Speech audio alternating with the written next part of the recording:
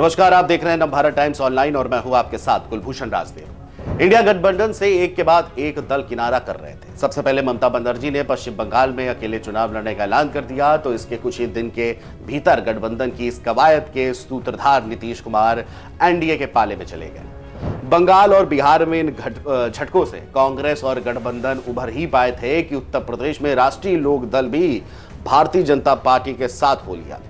एक के बाद एक पार्टियाँ गठबंधन छोड़कर जा रही थी और दिल्ली से पंजाब और उत्तर प्रदेश तक सीट बंटवारे के उलझे गणित के लिए सियासी दल कांग्रेस को आँखें दिखा रहे थे। इंडिया गठबंधन के भविष्य और इसकी तस्वीर को लेकर बातें शुरू हो गई थी, लेकिन अब यूपी, महाराष्ट्र और दिल्ली और पश्चिम बंगाल तक से कांग्रेस और इंडिया गठबंधन के लिए आखिरकार खबरें अच्छी आना आने लगी है। उत्तर प्रदेश में प्रियंका गांधी की सक्रियता के बाद कांग्रेस और समाजवादी पार्टी के साथ सीट शेयरिंग का औपचारिक ऐलान हो गया है। वहीं महाराष्ट्र में भी बात बनती नज़र आ रही है। दिल्ली के मुख्यमंत्री केजरीवाल के आवास पर कांग्रेस और आप के नेताओं की बैठक हुई, जिसमें सीट शेयरिंग फॉर्मूला करीब करीब अब तय माना जा रहा है। तो वहीं बंगाल में भी टीएमसी का रुख अब नरम पड़ता नज़र आ रहा है। सबसे पहले बात यूपी की कर लेते हैं, जहाँ सपा कांग्रेस के बीच शेड शेयरिंग का ऐलान भी हो चुका है।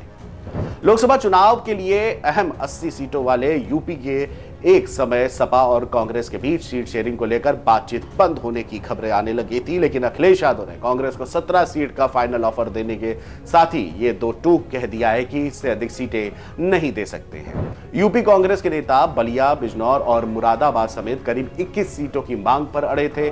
दोनों दलों के बीच बातचीत की गाड़ी जब पटरी से उतरती लगी तब सपा ने पाँच उम्मीदवारों की तीसरी लिस्ट भी जारी कर दी। इस लिस्ट में वाराणसी की सीट से उम्मीदवार का नाम भी था, जहाँ से पीएम मोदी खिलाफ कांग्रेस के प्रदेश अध्यक्ष अजय राय लड़ने की बात कर रहे थे। और वहीं सपा के वाराणसी से उम्मीदवार घोषित करने को कांग्रेस के लिए सख्त संदेश देखा गया। बाद बिगड़ती देख यूपी कांग्रेस की प्रभारी रह चुकी प्रियंका गांधी वाड्रा ने मोर्चा संभाल लिया।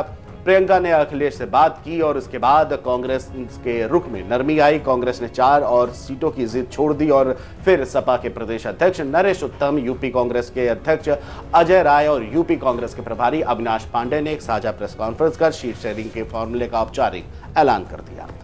यूपी में सीट शेयरिंग को लेकर औपचारिक ऐलान के बाद अब दूसरे राज्यों में भी इसे लेकर बातचीत की गाड़ी न सिर्फ़ पटरी पर लौट आई है, बल्कि अंजाम की ओर भी पहुँचती जा रही है। महाराष्ट्र में भी राहुल गांधी की सक्रियता के बाद अब सीटों को लेकर जल्द ऐलान की संभावनाएँ जताई जा रही हैं। राहुल ने पहले शरद पवार से फ़ोन पर बातचीत की। उसके अगले ही दिन शिवसेना यूबीटी अध्यक्ष उद्धव ठाकरे से भी फ़ोन पर बात की। हालाँकि कहा यह भी जा रहा है कि 48 सीटों वाले महाराष्ट्र की 40 सीटों पर करीब करीब सहमति बन चुकी है। अब बात आठ सीटों पर अटकी हुई है। जिन सीटों का गणित इंडिया गठबंधन अभी तक सुलझा नहीं पाया है, उनमें Ramtek, Hingoli, Jalna, Mumbai North, West Mumbai, South Central, Shirdi, Bhiwandi और वर्धा शामिल है। इन सीटों के लिए कांग्रेस और शिवसेना यूबीटी दोनों ही दल दावेदारी कर रहे हैं। इंडिया गठबंधन में शामिल नेता ये दावे कर रहे हैं कि सीटों का गणित अगली बैठक में सुलझा लिया जाएगा। वहीं दिल्ली में भी केजरीवाल के आवास पर आप और कांग्रेस नेताओं की बैठक हुई, जिसमें दोनों ही दलों के बीच चार और तीन के जादुई फॉर्मूले पर करीब करीब सहमति बन जाने की बात सामने आई है। हालाँकि दिल्ली के में एक सीट पर पेश फंसा है, दोनों ही पार्टियाँ चार सीटों पर चुनाव लड़ना चाहती हैं। कांग्रेस के नेता चांदनी चौक, नॉर्थ ईस्ट और ईस्ट दिल्ली की सीटों के साथ दिल्ली नॉर्थ वेस्ट, जो कि सुरक्षित सीट भी है, वो चाहती है। 19 के लोकसभा चुनाव में इन सीटों पर कांग्रेस का प्रदर्शन आम आदमी पार्टी की तुलना में काफ़ी बेहतर रहा था। बंगाल की बात कर ले तो बंगाल की मुखिया ममता बनर्जी ने सबसे पहले अकेले चुनाव लड़ने का ऐलान कर दिया था। ममता ने यह ऐलान तब किया जब राहुल गांधी की याद की भारत जोड़ो न्याय यात्रा बंगाल में प्रवेश करने वाली थी। ममता ने दो टूक कहा था कि हम कांग्रेस को दो सीटें देने के लिए तैयार है, लेकिन यह प्रस्ताव उन्हें मंजूर नहीं है।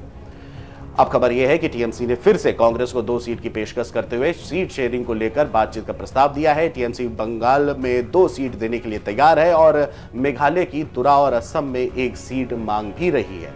कांग्रेस पश्चिम बंगाल में अधिक सीट चाहती है और तुरा सीट देने के लिए भी तैयार नहीं है। बंगाल में सीट शेयरिंग को लेकर के समझौता होगा या नहीं, ये तो आने वाला वक्त ही बताएगा। लेकिन ममता बनर्जी ने जब से एकला चलो का नारा बुलंद किया, तब से टीएमसी के नेता बार बार कांग्रेस के साथ सीट शेयरिंग को लेकर बातचीत की संभावनाओं को तलाशते हुए दिखाई दे रहे हैं। कहा यह जा रहा है कि अच्छी खबर भी आ सकती है, ये तो वक्त ही बताएगा। और इसके अलावा आपको बता दें कि जिस तरह से क्षेत्रीय पार्टियों को साधने में इंडिया गठबंधन, खासतौर से कांग्रेस जुट चुकी है, अब सवाल ये होगा कि संपूर्ण जितनी भी लोकसभा सीट है, इसको लेकर के चुनाव के ऐलान से पहले पूरा फार्मूला तय हो जाता है या चुनाव के ऐलान के बाद भी ये कवायद चलती रहती है? ये तो आने वाला वक्त ही बताएगा। फ़िलहाल अभी कितना ही, देश दुनिया की तमाम बड़ी खबरों के लिए बने रहिए। न भारत टाइम्स ऑनलाइन के साथ। नमस्कार।